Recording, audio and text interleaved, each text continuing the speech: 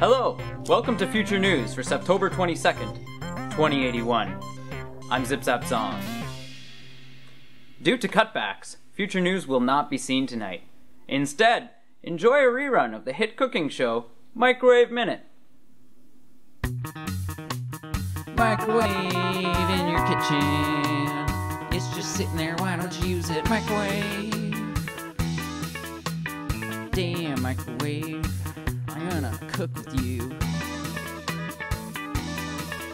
Don't you know I like to hack a butter too when I'm cooking? Some of my favorite buttons on a microwave include power and defrost, cook, six, and five. Just makes me feel warm inside when I sit extremely close to it. And I no, I do not think it has affected my my genetics. But I like the way the plates turn. I just I just like cooking with microwaves. It's it's in my blood. Now, it'd be time for us to give you some of our microwave recipes. Hi, I'm Chuck. And I'm Hank. Welcome to Microwave Minute. Alright, so today on Microwave Minute, we're gonna be making up some microwave panzerottis. Oh, the microwave has been around for many years, and we don't know how it came to be, but it is a tool we use to cook our food. Now, what we have here is the ingredients for the dough. We have breadcrumbs, we have flour, mayonnaise, nutmeg, and salt. Don't forget the extra virgin olive oil. So what you got here is a race against time. It's a game of speed and agility. When you're making dough, what you gotta do is you gotta come across and you gotta do puffs. You gotta do stuffs. And what you most often gotta do is you gotta pour nutmeg.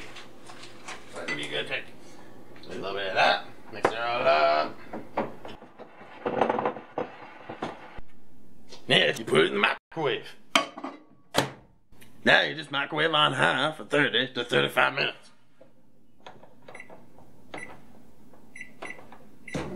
Now, when the microwave is finished, you got yourself some homemade dough. Now, you can't just want the dough, you gotta need it. Chuck, what we got in the fridge? We got mushrooms, pickles, and Cheez Whiz. Sounds okay to me. Next, you have the ingredients. First, you gotta make a big pocket hole. You gotta melt your dough. And then you add mushrooms. Mushrooms, you gotta have your cheese. A little bit of cream cheese, never hurt anybody. But then cream cheese is Cheez Whiz. It's the part of when you get Cheez Whiz. And then you get a little bit of the pizza sauce. Now, pizza sauce can't ever go too skimpy on, so you gotta load up on pizza sauce. And fold. You gotta be get careful when you're folding this ratte. You gotta be careful because it's like folding a present.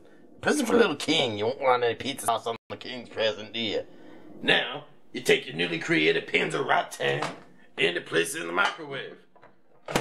And you apply the popcorn function.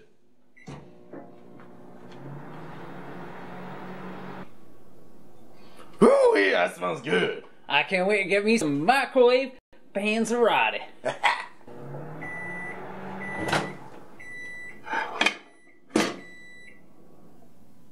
and that got going there, microwave panzerotti.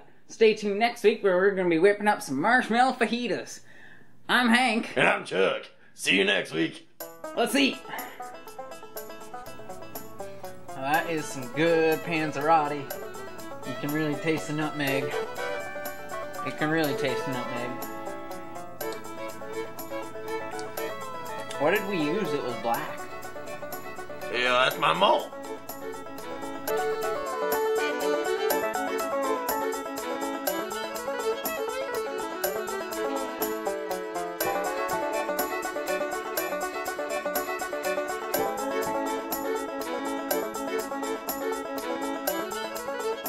When dealing with the sophistication of microwave object that we have on here on our